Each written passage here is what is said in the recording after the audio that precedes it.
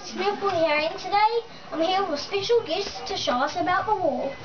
Hi guys, it's Shauna from Shauna's World. So let's get started. Um, okay guys, so I'm here and I'm going to show you YouTube, YouTube, YouTube. This YouTube has yellow on it and it says by Hari, by credit to Shauna. YouTube logo, another YouTube. Shauna's going to show you this now. So this is the YouTube um logo. And then a little container and it's got little things inside. Choose them there. So yeah.